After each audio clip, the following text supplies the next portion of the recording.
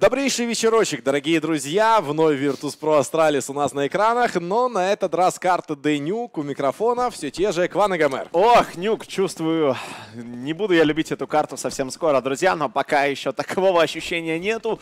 Ну и вот они, Virtus.pro. Очередное провальное выступление на трейне. Уже отмечали мы их стрик провальных неудач. И сейчас интересно посмотреть на контрасте. Все-таки смогут ли они нам показать что-нибудь интересное на Nuke или здесь будет продолжение ну, того же ужасающего Train а. Ой, ну надеемся, что все-таки нет. Надеемся, что поляки смогут мобилизировать оставшиеся силушки и хотя бы на карте Nuke порадовать нас э, чередой красивых раундов. Пока что заканчивается side pick, датчане def, поляки будут, как мы видим, нападать. Ну и, кстати, просто 5 armor ов от Астралис. Вот такое решение. Ребята решили просто перестрелять. А вот Virtus.pro, зная их хитрую натуру, попытаются как-то нас удивить нашифрованным раундом. Ну и, судя по всему, через улицу, да, именно туда полетели два смачка. И ребята попытаются разыграть какой-то весьма-весьма любопытный раунд.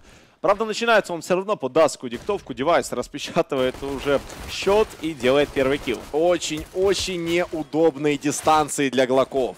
Целую обойму выпустил э, Нео, но при этом его все-таки умудрился убить датский. Бомбардир это был Дюпри, но все-таки команда отомстила, и это будет доигровка 3 в 3. Да, то, только хотел сказать, что расскажи это Тазу и Снаксу, которые из тех же позиций свои киллы нашли. Но... Они вдвоем там заспамили бедолагу. Миллион патрон.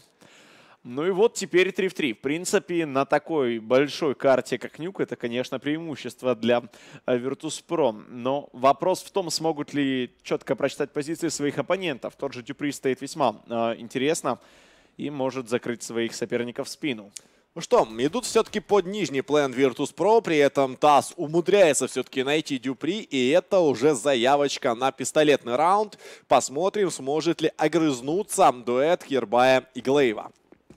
Так, ну и ребята решают все-таки врываться на нижний плент. Дверцу бы открыть смогли нормально. Снэкс, какая стрельба. Все-таки без проблем справился против Гуэйва. И вот уже выбивание 1 в 3 для Кирбая выглядит бесперспективным. Амбициозный молодой датчанин против трех монстров мира КС 1.6 и CSGO. Ну, первого может, кстати, закрыть. Это Снэкс. Отличный ваншот. Еще так, двоих. Ну, Остались жесткие монстры, на самом деле. Тот же Таз на теке играет, у него уже 2 килла есть. Ну и тут позиции просто разгромнейшие для Кирбая. Вот что ты сделаешь, когда здесь стопроцентный перекрестный огонь? Надо пушить, а времени нету. Закрыли прямо перед лицом у Кирбая эти двери, бомба пищит. Ну и, соответственно, пистолетка все-таки падает в актив команды Virtus.pro. Главное теперь не отдать форсбай, как это было на трейне.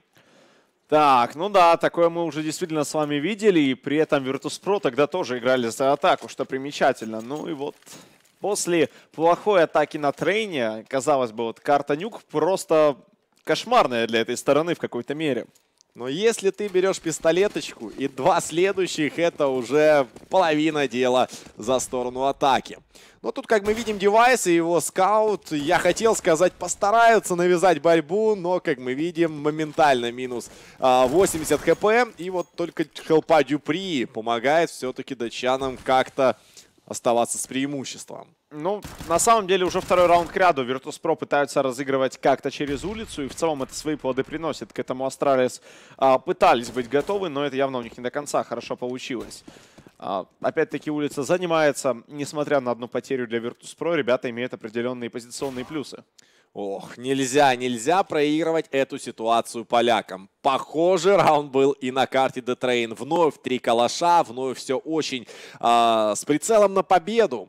ВП, ну какая коварная позиция, банально не хватает реакции Глейву. Вот просто не успел среагировать. Вот так тоже иногда бывает, друзья. Но это отсутствие реакции стоит численного перевеса сейчас для Астралис. Более того, Кьербай смог надамажить одного из соперников. Это был Нео, у него остается 27 хп и смог отойти. Ну, кстати, любопытный момент. Сейчас вроде бы и численный перевес, но вот какие-то такие минусы и могут все зарешать. Зипникс с Дюпри делают 2 килла. Один из игроков это Бьяли на одном хп, и он остается последним выжившим. Шоу «Последний герой», дамы и господа, но, по-моему, этот последний герой обречен на фиаско. Э, декорации поменялись, но смысл остался тем же. Вновь последние секунды, вновь бомба лежит, вновь отдают форсированный buy Virtus.pro, закупая при этом три калаша. Ну вот Почему? Почему наступают на одни и те же грабли? Мне интересно, почему Астралис не могут ни одной пули не попасть в Бьяли. Ну, и теперь-то уж точно надо его закрывать. Пытается Бьяли выживать. Ну и все, ребята решили побороться за девайсы. Что, в принципе, тоже правильно. А, 300 долларов наличными сейчас убьяли, не более за счет сейва, но тем не менее Кавашек-то остался на руках. А это дает предпосылы на какие-то ответные форсы, которые сейчас нам и пытаются нам показать Virtus.pro. Поляки абсолютно никаких решений не предпринимали. Почему-то на протяжении второго раунда просто толпились на улице. Не занимали плен, не спускались в тоннели. Пытались где-то все-таки, наверное, отстрелить оппонентов, но вновь у них это не получилось сделать. Ну и классное начало, но потом все идет коту под хвост. А потом все, как всегда в случае с Virtus.pro, по крайней мере в рамках этого игрового дня, действительно как-то так оно и выглядит. Ладно, будем надеяться на то, что а, развязка будет другой. Я не говорю конкретно за победу польского коллектива, но как минимум борьбу определенно хотелось бы посмотреть. Ну что же, вновь экшен смещается в сторону улицы. Dev Zero, вот такой никнейм у девайса, наверное. А, нужно было об этом сказать пораньше, но тем не менее... Но мы это игнорировали, да. как будто никто ничего не видит. А, дал какое-то количество дэмэджа, поляки все-таки решили зарашить рампу, но тут папка Гзипникс, двойное убийство, но вот, как мы видим, на третьего сил уже не хватило. Но это дает возможность Тазу уцепиться за еще какую-то разыгровку парную. Хотел сказать парную вместе с Нео, но теперь-то уже Нео нету, Кубски на небесах. А вот Таз, очевидно, здесь уже, ну, разве что снова сейвить, я не знаю. Ну, тут опять-таки спорный момент, нужен ли этот сейв, принесет ли этот калаш желаемые результаты. Но, судя по всему, да, именно такой вывод делает польская команда. Все-таки 20 секунд до конца раунда. И в очередной раз Virtus.pro не занимают ключевые точки на карте. Они вроде бы массово давили рампы, но разменялись в минус, и в итоге ТАСС оказался банально под своим респауном э, ситуация 1 в 4. Ну, засейвить он, конечно, попытается, и, в принципе, это у него должно получиться. Кирбай пытается вычислить оппонента, и что? Нет, не успевает все-таки а, совладать со стрельбой. Наверное, все-таки здесь датский игрок. Ну и за счет этого калаш снова остается в руках для Virtus.pro. Правда, от этого не легче, если честно. Как бы у тиммейтов eco, а тебе придется беречь этот калаш, я не знаю, лелеять его. Как зеницу ока. Наверное, не лишним будет напомнить, что именно Таз сейчас является фраг-лидером команды Virtus.pro. Набил 5 фрагов, наверное, как за всю карту de_train сейчас. Все-таки на нюке ТАЗу довольно комфортно. Ну, не зря. Все-таки именные кепки просто так не делаются. Как по мне, значит, чувак должен действительно разыгрывать очень и очень круто. А, заготовка вновь под улицу у команды ВП. Делают стеночку смоков. Девайс дважды промахивается. Ну вот, все-таки, наверное, нужно было отходить.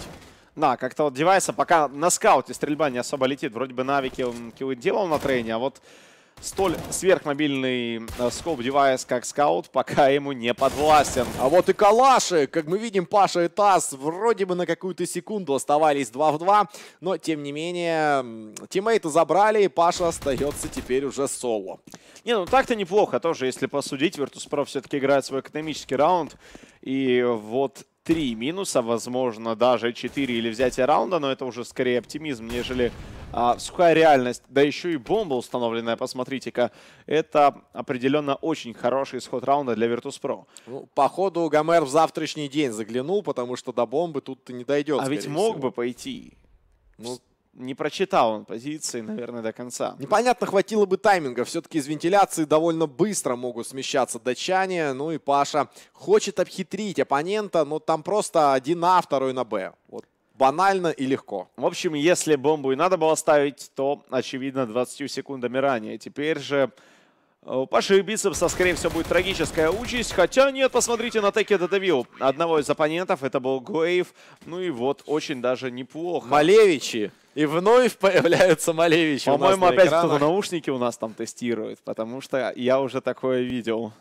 На опыте, на опыте Гомер. Да. Читает происходящее в другом помещении. Вот так вот. Ну что же, ладно, калаши с одной стороны, с другой стороны, наконец-то АВП появилась в руках девайса. Уж с этим девайсом он должен закрепиться на улице. Ну а поляки Пока халдят, вот я хотел сказать, делают какой-то фаст-врыв, но нет, заняли крышу, Молотов э, на контрагрессию в районе радио. Ну и какой-то супер дым от Снекса будет. Ну, в принципе, Нюк, он как бы не предусматривает часто агрессивные раунды, разве что злополучная аркада Апланта классическая через дверь. Но, благо, коллективы давно научились ее контрить. Собственно говоря, для этого нужно было выучить один молотов. И большинство команд с этим справились быстро. Теперь же в моде снова медленные раунды, какие-то разыгровки через улицу, но, как мы видим, ВП следует общей мете и пытаются вот разыгрывать аккуратно. Пока что халдили на протяжении всей первой половины раунда поляки. И только сейчас осторожно, поступательно занимают улицу. Обратите внимание, ни одного смока, ни одной флешки нет уже у атаки. Они вновь толком-то ничего и не заняли. Ой, те же грабли действительно сейчас под ногами валяются Virtus.pro, и, судя по всему, они уже в прыжке непосредственно на них. Но тут стрельба спасает Таза, Снекса. Они буквально вдвоем распечатывают точку и в итоге выигрывают раунд. Вот так вот, без гранат, просто на стрельбе. Вышли и убили поляки. Тут, наверное, стоит уже датчанам призадуматься. А почему же к нам проходят в 9 вообще без инфы? Вот как-то так получилось, что э, никто catwalk и не смотрел. При этом Финансов нет. Моментально отдав один раунд, датчане остаются чуть ли не с 1300 на руках и будут делать экономический. Должны понимать датчане, что все-таки в дефе нужно топить, за каждый раунд бороться. Но Финансов нет. Пока все это настолько похоже на карту Трейн, что аж страшно. По-моему, там чуточку позже взяли а, все-таки свой девайс на Virtus Pro. Но в целом, опять-таки, взяли пистолетку, проиграли форсу, потом девайс, но у оппонентов эко. А, а вот на следующем девайсном уже возникли проблемы. Будем надеяться, что здесь уже сценарии разбегаются, но Давайте не будем забегать наперед. Тем более, что Глейв уже сейчас вносит какую-то интригу. Не будь он слепым, походу постелил бы и второго. Эх, слишком мало интриги, судя по всему, будет у нас по ходу раунда. Под номером 6 э, все-таки на карте Дейнюк, наверное, повыше ценятся разыгровки в атаке. Тут у них будет уже три, и там, я думаю, до раундов 5-6 уже останется рукой подать. Тем ну, более на улице как-то девайс не справляется. И со скаутом, и с АВП не видно каких-то супер моментов. Контроля улицы действительно не хватает. Вспоминая там, как тот же Ангел контролит улицу, действительно, ну, очень по-разному выглядят эти моменты. А здесь пока, ну, 3-3, да, действительно, это будет временная ничья. Возможно, кстати, какие-то даже девайсы попытаются подстрелить, но, по-моему, Virtus.pro идут друг за другом. И, соответственно, даже если Таза похоронят, далее уже подключатся тиммейты. Попытка, да, выхода с уверенным префайром. Девайс отвечает двумя фрагами, тремя фрагами. Четвертый будет или нет? Вот это да, чуть-чуть не хватило. 4 хп. Действительно, всего-то 4 хелспоинта осталось. Ой, как же это было близко, но... А, тем не менее, не получилось подсейвить девайс. А тут, кстати, уже вот вам и разбежности. А экономика настолько плоха, что приходится играть сдвоенное eco. Ну да, по 1300, по 1400 да. было в прошлом раунде. У датчан сейчас они могут себе позволить диглы, но только Дюпри прикупил к нему еще и легкий армор. Entry kill от Паши. Наконец-то появляется уверенность. Появляются ранние entry-фраги уже и от польской команды. Нео, скорее всего, продавит радио. Хотя нет, тут все, убежали. Убежали Астралис не рискуют дальше воевать. На самом деле Virtus.pro здесь, наверное, в какой-то мере а, буквально в пиксель надамажили Дюпри и после чего просто забрали в спину. Ну, серия разгромных минусов, которая, конечно, уже увенчается выходом Virtus.pro вперед. И вот счет 4-3 уже выглядит не настолько разгромным, как нам оказалось там после того же проигранного форса. Да, довольно редко мы видим все-таки качели по раундам на карте Денюк. Зачастую тут все-таки первым номером играет оборона. Датчане выиграли force, но помаленьку, потихоньку обеспечивают достойный камбэк игроки под тегом Virtus.pro. Ну и вот теперь карта на руках у датчан. Как они будут контролить улицу? Именно это станет ключевым моментом этого девайсного. Девайсного ценой в жизнь просто для Astralis. Ну, мне кажется, очередной раз, когда речь идет о команде Astralis, девайсный раунд в плане того, что все надежды возлагаются именно на девайса. А, весьма вероятно, что опять будет какая-то небольшая разыгровка через улицу. И если снова здесь не будет справляться девайс, то тогда действительно, вероятнее всего, Virtus.pro начнут нестись уже очень и очень быстро какой-то доминацией в атаке на нюке. Ну, Astralis, по идее, могут помочь девайсу, там те же хаешки на ранних таймингах откинуть на улицу, отправить второго Покет Волку. Но, в принципе, как Virtus.pro пока никак не открываются на улицу, так и датчане занимают весьма консервативные позиции, но все-таки теперь их там двое. Обратите внимание, это мейн, это спуск. То есть точка уже другая как бы ребята проводят работу над ошибками, грубо говоря, а, понимая, что раз за разом есть определенные трудности, решают сменить позиционочку, а вплоть до такой вот агрессивной позиции Кирбая, которая уже была наказана тазом. Парень определенно что-то знает про этот Counter-Strike. За его-то уже сколько, наверное, лет 13-15 да. карьере киберспортивной. 13 лет в аркаде. Все нормально. Все работает. Кстати, девайс параллельным курсом отвечает великолепным разменом. И не воспользовались энтри-киллом ВП. Вот как стояли, так и стояли. А теперь уже поздно. Теперь действительно уже будет слишком поздно. Хорошие позиции для команды Astralis обеспечивают им приемку оппонентов. И вся надежда возлагается только на Снекса. То справляется с двумя оппонентами. Но девайс, ничего не боясь, просто вырывается из вентилей, словно зверь. А, был бы штык-нож, наверное, вонзил бы он спину а, все-таки его Снексу. А так просто потушил в упор Савика. Где-то не хватает ситуативного принятия решений. Virtus.pro и на трейне, и на карте Денюк какой-то момент времени они были в большинстве. У датчан началась минимальная паника. Смена позиции, но минус у девайса, минус еще по другой части карты. И вот уже раунд 5 в 3 превращается 3 в 4. Так оно и есть. А вот здесь уже интересно. Говорил я о том, что научились команды контрить фаст-врывы на аплент, но, видимо, я очень сильно заблуждался, потому что Virtus.pro как себе домой зашли, поставили бомбу. Вот теперь задача не дать ее разминировать. А это, оказывается, сложнее, чем бы могло показаться. А, ну и один в один для Нео против Гзипникса. Правда, вот у датчанина практически нету хп. Нео, классный выбор позиционки. Залетает минус. Очень близкий раунд. На самом деле, double kill из UMP-шки Глейва заставил, наверное, где-то понервничать фанатов польского Counter-Strike. Но, тем не менее, это пятый раунд в атаке. Это вновь ужасная экономика для команды из Дании. Ну и, в принципе, в отличие от карты The Train, тут хоть и идут качели, но оборачиваясь э, на выбор стороны, все хорошо для Паши Бицепса и его банды ребята спокойно уже могут семимильными шагами двигаться навстречу шестому раунду, потому что за счет как раз взятых этих ключевых, которые, казалось бы, они начали набирать попозже, ну, в более такой средней стадии этого матча, этой половины, они могут там как-то напрягать экономически, выигрывать раунды за счет денег. Главное теперь не проигрывать в досадных каких-то моментах. Ну и вроде как пока никаких предпосылов на это-то и нет. Гуэйв попытался сделать красивый энтри, но не получилось. А вот у девайса, тем не менее, с разменом все задалось. Да, спалил свой дигл, дал минус, кстати, уже не в первый раз по скале. Паша Бицепс хладнокровно разменивает. Ну вот на мейне не доигрывают поляки, их тут постоянно напрягает Дюпри. При этом Дюпри еще умудряется выжить на какое-то время. А будь рядом Хелпа, вероятно, там бы уже похоронили ребят. Но Хелпа перетягивается только сейчас. Да и то со спины для поляков Кирбай немного поднапряг с мейном. Ну и теперь оказывает позиционное давление, в первую очередь, на своих оппонентах. Зипникс на выпаде делает килл. И вот уже один на один. Очень грамотное решение Снейкса. Моментально дропается под нижнюю базу. Будет установка бомбы, но, конечно, взятие раунда это еще не гарантирует. Это клатч один в один. Так, Снекс, ну услышал весь расклад, абсолютно все, прекрасно понял. Сейчас поляк теперь занял максимально непредсказуемую точку, которую Кирбай, скорее всего, ждать не будет. Даже если он вернется в вентиля, ожидать лестницу будет абсурдным. Крайне тяжелый на самом деле раунды для ВП. Это, напоминаю, форсированная закупка у обороны. Выход с префайром, Снекс. Там defuse все это время, я надеюсь? Нет, Нет, там дефьюза нету и нету китов. Кербай делает килл, и что, дефьюзить успевает. Вот это поворот. А какая-то минимальная пауза была у Снекса. По-моему, у него...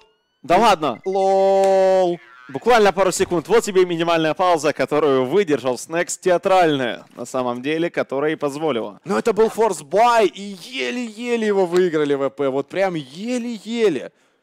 Выпрыгнул, и только отсутствие китов на самом деле спасает атаку.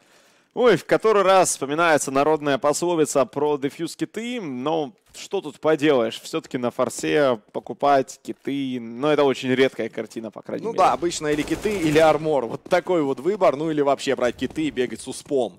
А, тем временем энтри килл обеспечивает Паша Бицепс, помаленьку, потихоньку начинают нащупывать свою игру на улице поляки. Ну а вот датчане вроде бы уже и Глейва в аркаду запускали, и у девайса как-то где-то начинает получаться отстреливать по ходу аутсайда, но это все лебединая песня, как мы видим. Ой-ой-ой, как так-то? На охоту выдвинулись поляки? По-моему, девайс жаждет крови. Его хватило уже на трипл килл. Но пока действительно многих оппонентов закрыл Зипникс. Если повезет с таймингом, то это похороны для Паши Бицепса. Какая жесть. Ну и просто изи минус сейчас. Стас остается один против двоих. Зипникс ухватился за девайс, смог спастись. И вот теперь ему надо отыгрывать уже звено вместе с тиммейтом. Более того, от выпавшей бомбы.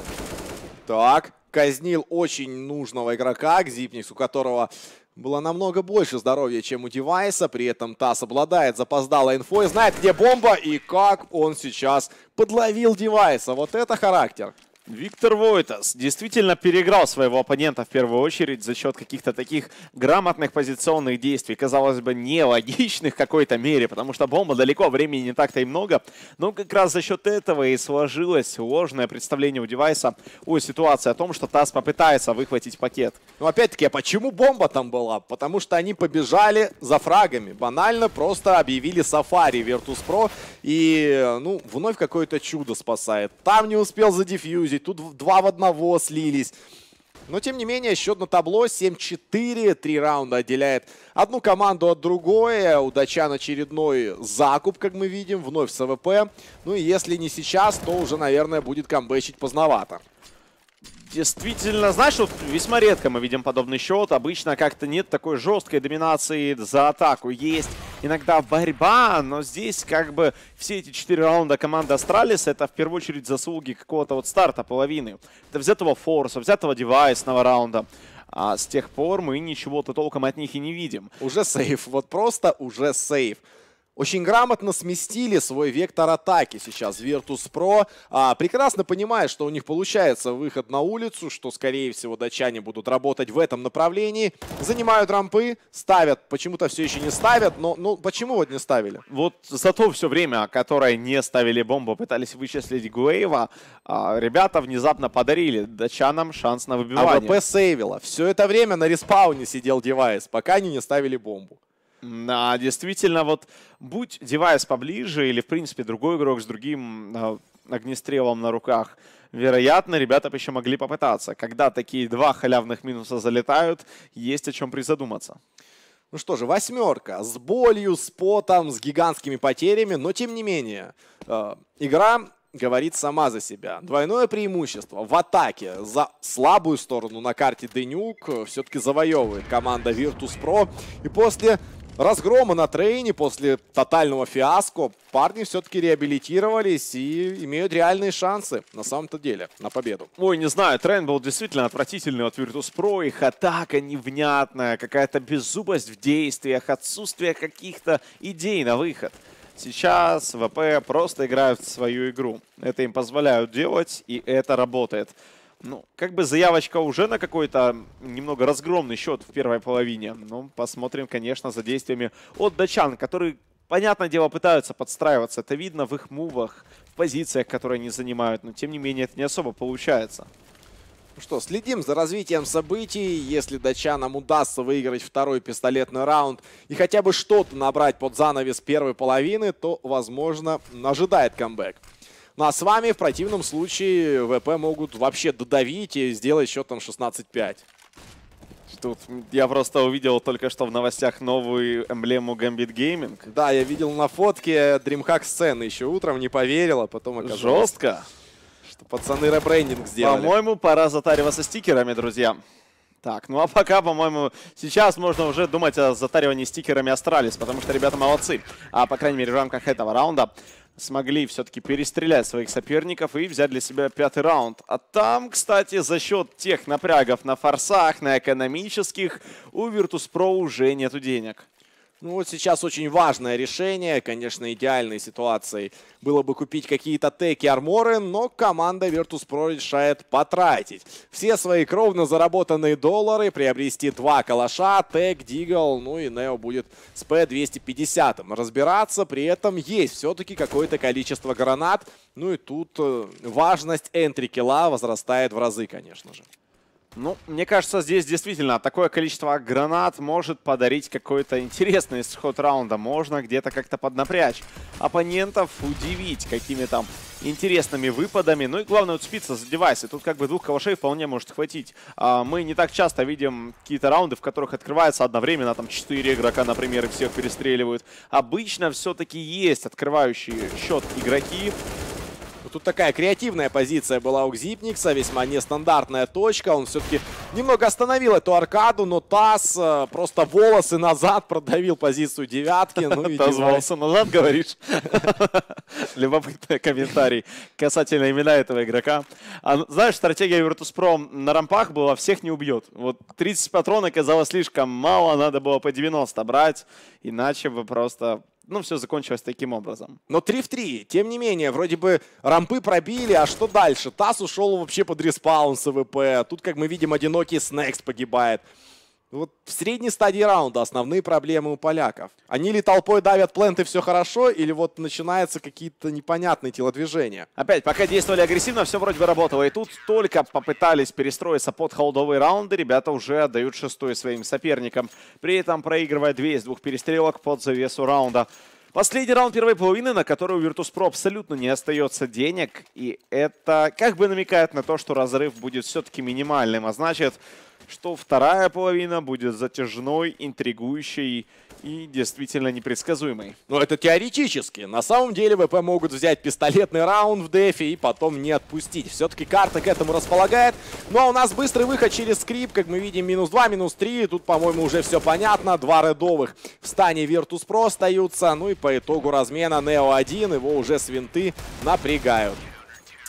Кирбай последний минус делает. Все-таки спустя миллион патрон из Дигла он смог додавить Нео и вывел все на 8-7. Ожидаемый счет по итогу, который мы с вами обсуждали, друзья. И теперь в ожидании, конечно, пистолетного раунда. Интересно посмотреть за датской атакой. Не так давно у них поменялся in-game лидер, и, возможно, это как-то повлияет на саму манеру игры. Astralis на этой карте очень многое будет зависеть именно от этого пистолетного раунда. Если датчане в нем уступают, то ВП могут вполне преодолеть планку уже и в 10 раундов, если, конечно, не дадут э, свой любимый форс тем же датчанам, как это было неоднократно уже. Любимый на самом деле нет, да, конечно, в случае с ВП. Вот какова вероятность того, что вот на двух пистолетках в атаке из двух такое произойдет? Ну и, конечно, в последующем раунде. Ну да ладно, а, Virtus.pro пока играют достаточно аккуратно. В принципе, у них а, нету никаких таких необычных закупок. В целом только Нео играет на смачке и дефьюз китах, остальные тиммейты на легких арморах. Ну, Стралис зеркальная ситуация, там Гуэйв отвечает за раскидку. Можем, наверное, пока подчеркнуть все-таки разницу в закупках. Если датчане э, приобретали 5 легких арморов, то все-таки Virtus.pro позаботились о дефьюз-китах и где-то, наверное, в голове планируют э, раунд ну, до самого конца доигрывать, дефьюзить и сжать уже на дистанции. То есть делать ретейки и так далее. Ну, посмотрим, так это или нет. Отличный тайминг для себя ловит один из игроков защиты, который прожимал лево. Но я честно говоря, не успел обратить внимание, кто это. Может теперь позакрывать в спину. Тасс пока находится на крыше и, в принципе, на один кило хватило. Далее Бьяли уже ассистит, делает еще несколько минусов. Нео в спине. И это план капкан, который сработал Virtus.pro. Очень четко сейчас оборонялись под верхним плентом. Закрытые позиции, наверное, подрасслабили датчан. Они вроде бы толпой забежали в А, но начинает топить Таз, на него отвлекаются. Парень сверху, там уже хелпующий. И в итоге зашли вроде бы все вместе, но погибли по одному.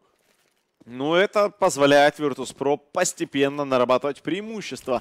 Если, если, конечно, не пройдет какой-то очередной мега-раунд, тогда это можно называть, я не знаю даже как. Это какая-то карма Virtus.pro была поддельная, которая только на них распространяется. Кстати, весьма интересно занимают улицу, я бы даже сказал, не занимают, а посматривают улицу Virtus.pro. То есть один игрок в упоре, второй а, с девятки. Ну и, кстати, это работает. Снейкс дает энтри-килл по Глейву. Гзипникс отчаянно пытается разменяться, понимая, что нанес дэмэдж, давит до последнего, но Паша Бицепс включает турборежим и убегает, мы видим, на нижний плент. Ну, все-таки смог спастись на какое-то время, но на вилке его нашли. Подбирают его Фамас, насколько я помню, у него там лежал. Ну, по крайней мере, должны были подобрать. Гомер с опережением комментит. Ну, так и должны. Он Подбирают его Фамас, и парень с тейком просто а дальше почему, идет. А почему никто тайминги, не Тайминги, тайминги, тайминги. Фастиком. Бежим, стреляем. Но, по-моему, сейчас бежим, стреляем. Может, кстати, в итоге на перестрелках-то им и аукнуться. Но у Таза стрельба не летит абсолютно.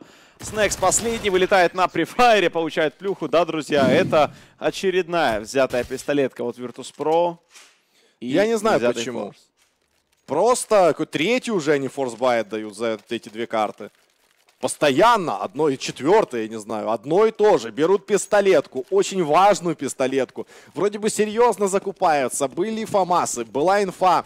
Но почему-то датская магия в деле, и это победа в рамках форсбая. Как? Почему? Зачем? Что вообще происходит в этом Counter-Strike?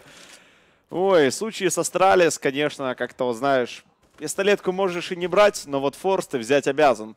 А, что называется, ребята действительно раз за разом это нам показывают. Это, конечно, здорово, но, черт возьми, насколько же странно. Да, вновь нужно потеть, вновь нужно прыгать выше своей головы команде Virtus.pro. Сейчас у них форсбай. В случае неудачи Эко, если не два. Ну а вот у датчан вновь все получается. Если еще и Глейв плюс девайс нафармят, это будет вообще джекпот.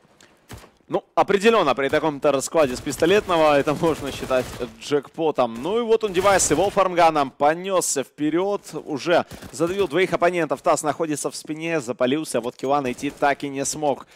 Но это все приводит, конечно, к плачевной ситуации для Virtus.pro. Они отдают временную ничью своим оппонентам. Вопрос только в том еще, насколько сильно на экономике здесь поднимутся Astralis. Или все-таки нет?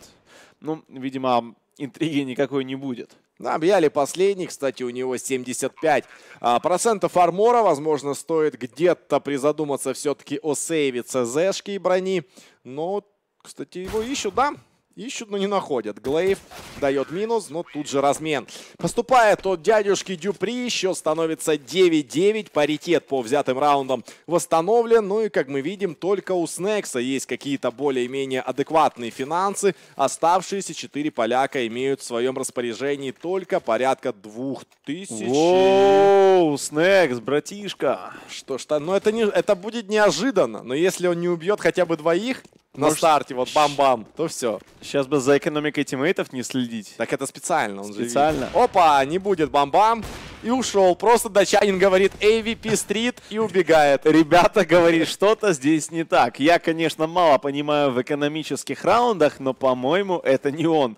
Snax пытается играть сверхмобильно, понимает, что его АВП является ключевым вообще в этом раунде, и только он может как, делать как игру. датчане красиво действуют. Они понимают, что у них-то есть смачки, мы можем просто отрезать улицу. Даже если Snax продолжит стоять с АВП, мы просто пробежим мимо этой точки.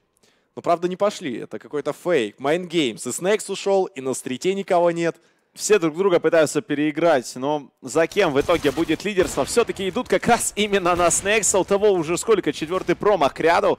А, Опять-таки Astralis понимают, где западня и просто перетягивается под А-плент. Там есть TaZ, но TaZ а там больше нету. А, ну и все, это по ходу дела. Да, конец раунда. Snax будет сейвить. Ну и вероятнее всего его попытаются вычислить. Ой-ой-ой-ой палево. Давно пора было сваливать TaZ у. Ой, господи, Snax у. Ну вот куда уже на респаун не уйдешь? В девятке давят. Дело пахнет керосином для Snax а, да, и его АВП. Ну, пытается спастись. Ай-яй-яй. Ну, задавят, по-моему, слишком жестко, со всех сторон. Шоу выживший для Snax а все-таки заканчивается плохо. Он погибает, Авик не засейвит. Ну и вот она, мега закупка, которая принесла один kill, и то при попытке сейва.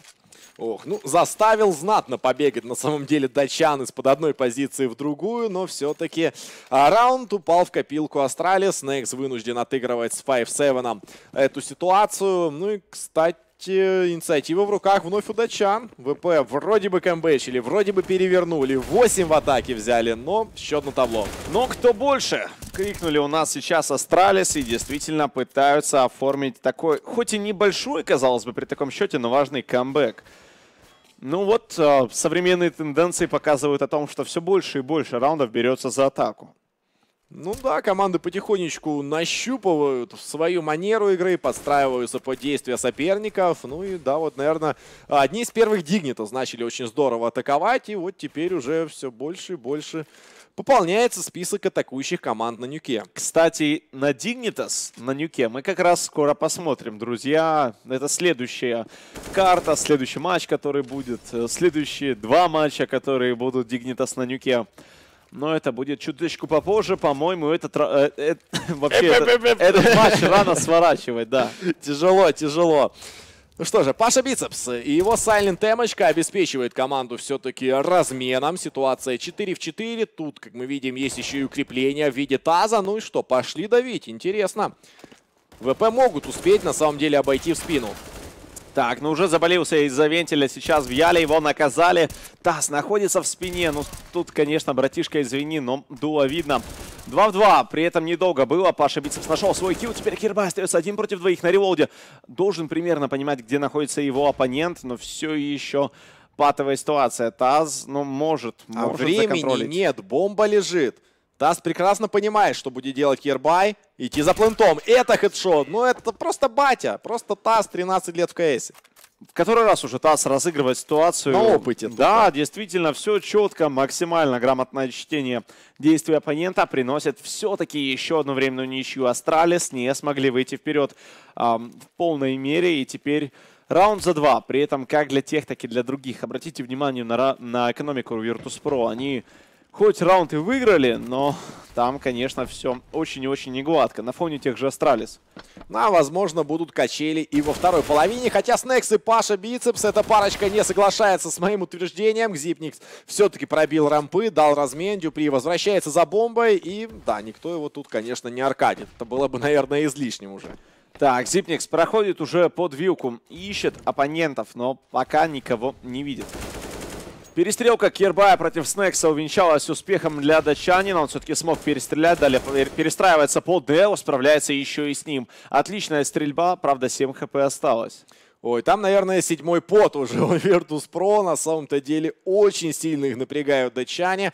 Но вот удастся ли в итоге победить датской сцене или все-таки додавят те самые Virtus.pro? Отличный тайминг, что-то Кирбай вообще загулял. Ну, тут а еще один отличный тайминг. Непонятно было для кого до последнего момента, правда. Ну, реакция, реакция не подвела к Xyp9x а. Один процент здоровья, тут где-то повезло, где-то среагировал. Ну, везет сильнейшим. Будет бомба. Ну и что? Снова TaZ.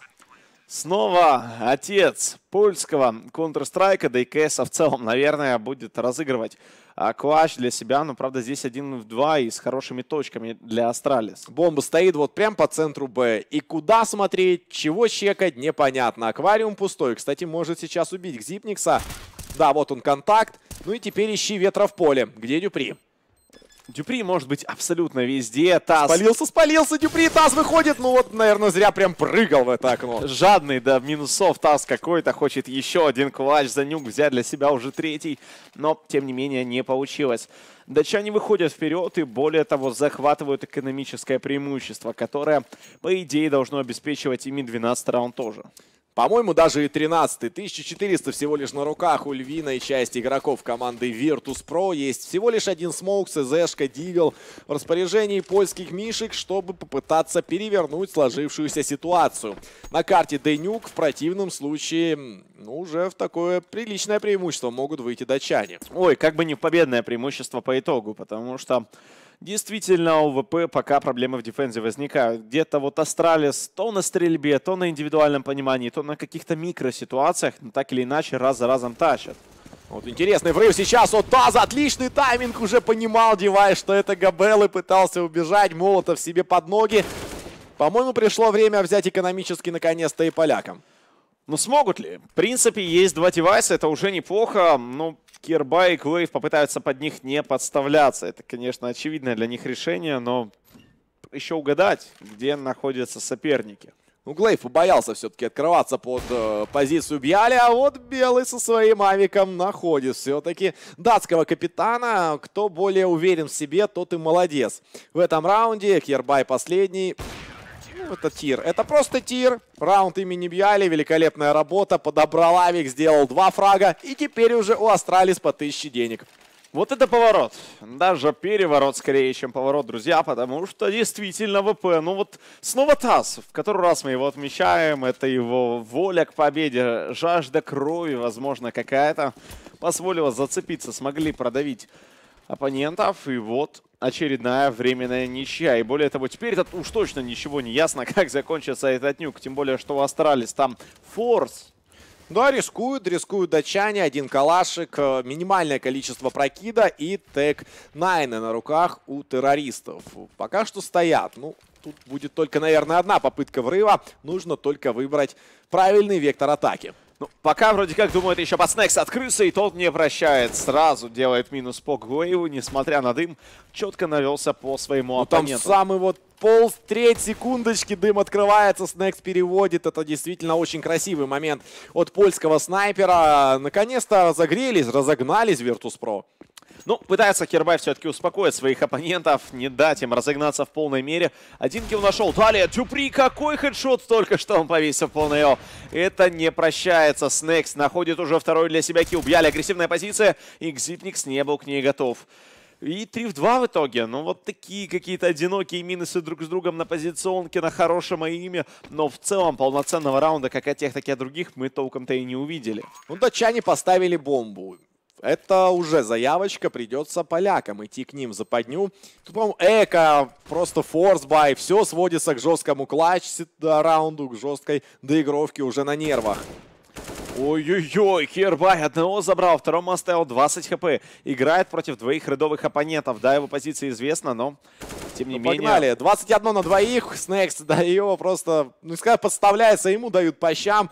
Бьяли, выход судьбы, а тут никого. Сюрприз. Как грамотно, молодой и грамотный Кирбай переиграл, при этом действительно по-отцовски ответил за все клатчи Таза, по-моему, только что разом. Ой-ой-ой, это форс, который заролял для Astralis. И вот ребята только взяли Эко и теперь проиграли одному Калашу по факту в руках у молодого датского игрока. Да, квадрокилл, при этом вытащил тяжелейший клатч. Да, была бомба, да, была хорошая позиция, но разыграл идеально Кирбай. Вот прям все так, как нужно. Ну и Эко у одних, Эко у других, снова Эко у Virtus.pro. А, это топор, просто топорно бежим и убиваем. Но, знаешь, простота это не всегда плохо в случае с Astralis.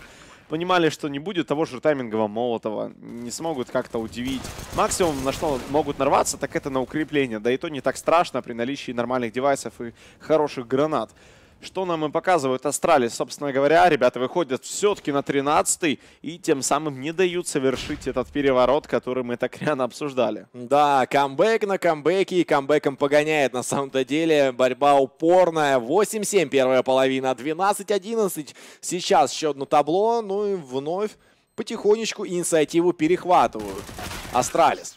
Задавили последнего. Глейв ставит точку в раунде, уничтожив последнего польского медведя. Что по деньгам будет? Будет бай. Не все плохо.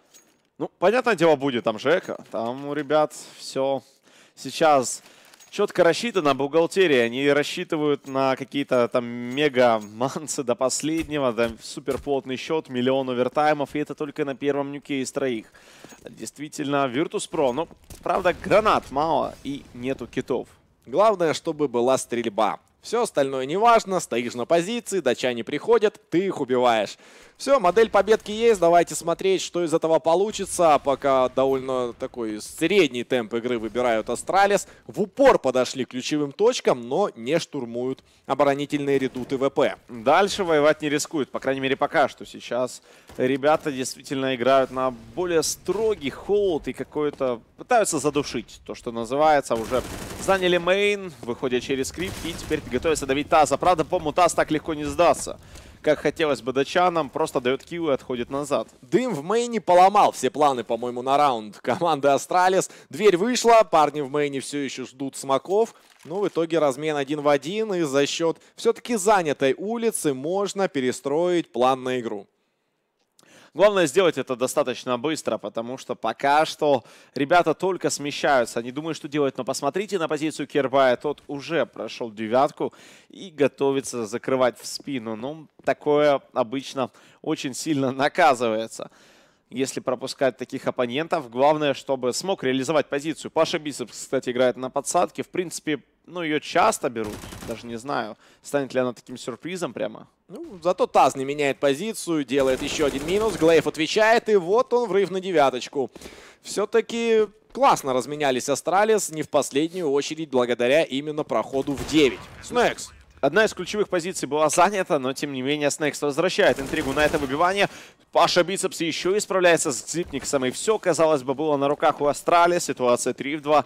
Как молниеносно летят в киллы со стороны польского коллектива. И теперь это уже снова клатч для Кирбая. Он один против двоих. Там Он задефит. Он задефит сейчас. Слишком медленно идет Кирбай. Последние секунды. Это клатч раунд. Да ладно. А сколько там было до дефа? Увы, не знаем мы этого. Ну, буквально Да уже секунды все, там. уже все. Алло, Гейбану звонить. Ну, лол. 14-11. И еще один квадрокилл для Кирбая. Еще один клатч. Еще один клатч против большинства. Просто на миллион процентов сейчас отыгрывает этот молодой датский игрок. Ох, тянет за собой команду Кирбая. Уже все, уже вот эти два раунда они проигрывают. Плохая экономика, ВП додавили бы, но нет. Теперь, как мы видим, ЦЗшки а там 15-й. А ЦЗшки без арморов, а там 15-й. А там камбэчить уже некогда, надо браться за экономически, но и этого не позволяют сейчас делать Astralis 3. Минуса уже есть, четвертый тоже не заставил себя долго ждать. Последний Snax, конечно, уже ветра не сделал бы. 15-11, 4 матчпоинта. Неужели все-таки 2-0 за Astralis? Заиграл Кирбай. Вот, по-моему, ради таких моментов его и брали в команду. Стоит жить. Вот молодой, горящий датчанин, при этом настолько классно разыгрывает клатч-раунды. Никакого мандража, никаких э, каких панических действий. Все здорово, красиво, 15-11. Но есть еще шанс выйти на дополнительные раунды. Ну, на тему Кирбая, в принципе, феномен. Вот действительно, обычно молодые игроки славятся шикарным эймом каким-то там невероятной реакцией, еще чему-то, но далеко не таким пониманием и таким действием. Ну, девайс каким-то чудом делает 2 килла, далее еще и Кирвай находит Пашу Бицепса. И потихонечку можно приспускать польские флаги, потому что, по-моему, у Virtus.pro назревает сегодня плохой денек. Да, кстати, это последний матч, последняя карта для них в онлайн-части второго сезона ИЦС. Десятое, по ходу дела, поражение не за горами, если, конечно, старина ТАСС вновь не спасет свою команду. Ну, у него есть пару бьяли, может быть, как-то и разыграют. Аквариум, ага, теперь остается единственная позиция, и как бы ты тут ни действовал, перекрестный огонь поставит крест на действиях Бялого, и это действительно 16-11. Astralis одерживают победу, и на карте Нюк тоже. Отличная атака, как у Virtus.pro, так и у Astralis. Наверное, это нужно лишний раз подчеркнуть, в отличие от, наверное, привычных счетов, там 12-3, 14-1, возможно. Ничего себе. Привычные счета. Мы этого не не увидели. Мы увидели 8 в атаке от ВП. Мы увидели 9 в атаке от Astralis. То есть действительно классный КС, действительно все было здорово. Ну, потихонечку как-то вот манера Нюка, его мета вообще меняется, и потихонечку эти цифры сглаживаются. Говорили на старте о том, что карта до сих пор имбалансная, но вот по таким матчам и не скажешь. У нас будет возможность подтвердиться или опровергнуть это с вами, друзья, еще неоднократно. Еще две карты Нюк впереди, обе пройдут между э, пятеркой из Dignitas и все теми же G2 Esports. Буквально минимальный перерыв, и мы уже вернемся на последние две карты на сегодня. Никуда